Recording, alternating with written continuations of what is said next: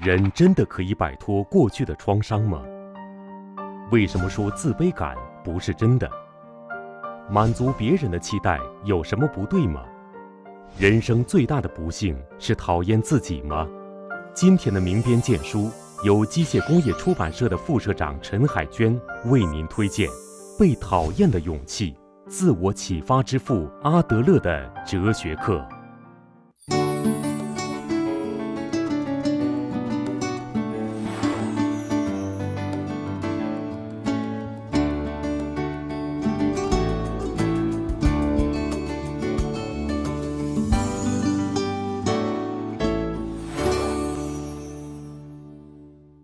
读本好书，听段故事。各位好，我是李盼。您是否常常会对繁琐的生活感到乏味呢？你是否是时时为复杂的人际关系感到疲惫？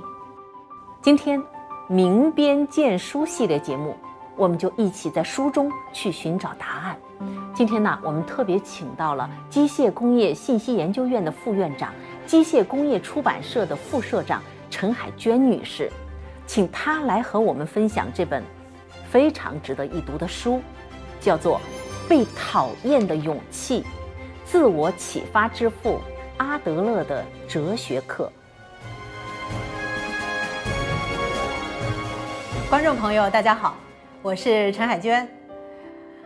我们大家呀，在生活和工作当中呢，呃，总是会遇到各种各样的一些问题啊。在此呢，我今天想跟大家呢分享一本好书。这本书的名字呢叫《被讨厌的勇气》。为什么要分享这本书呢？我想先问大家呢几个问题哈，或者跟大家一起呢设想工作当中或者生活当中的几个场景。比如说呢，像我昨天呢就有这样的一个经历。我这两天呢事情非常忙，但是我的一个朋友给我打电话，希望我能在这个下班之后去帮助他呢排解一些家庭的矛盾。说句实话哈，我时间呢真的是很紧张。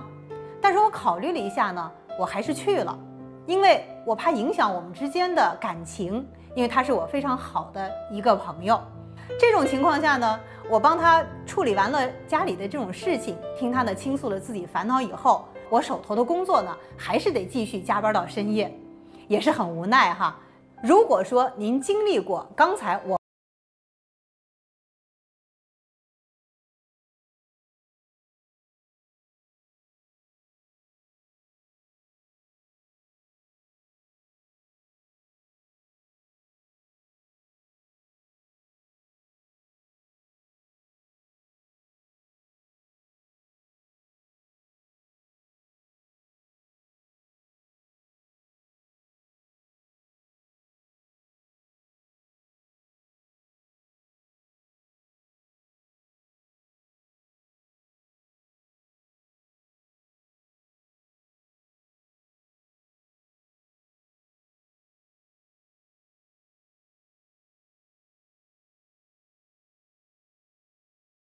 给全球千万人带来了启迪。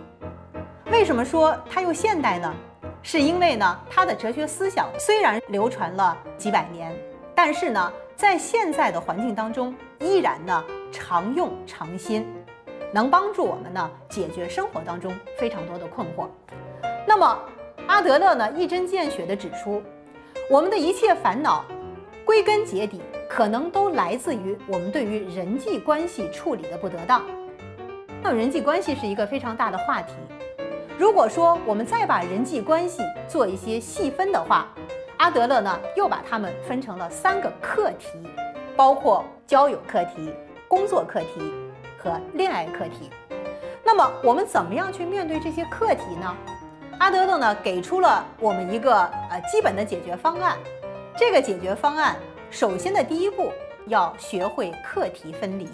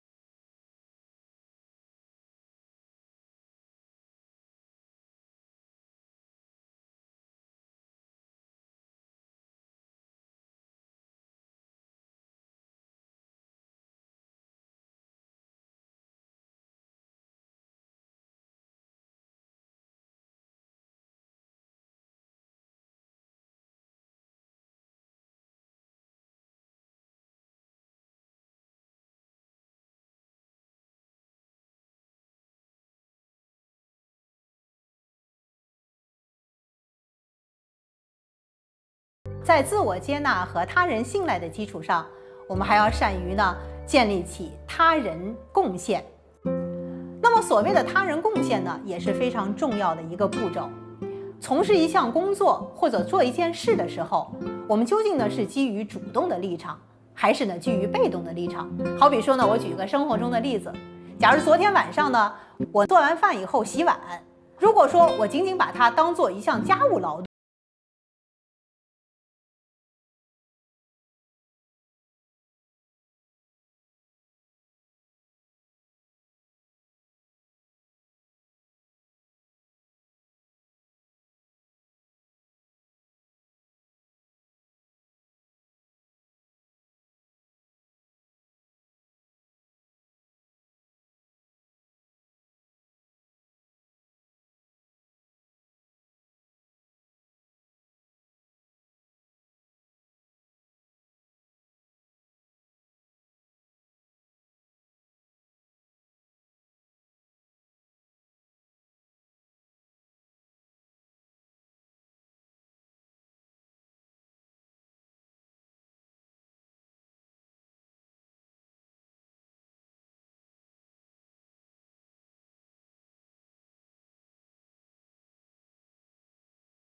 对自己的完善和和谐，也许我们和外界才能达到共融和共洽，我们自己呢也才会在这样的一种良性氛围当中走得更远，享受到更多的幸福。《被讨厌的勇气》这本书从出版以后，可以说呢给很多人带来了心灵上的启迪，我也是这本书的受益者之一。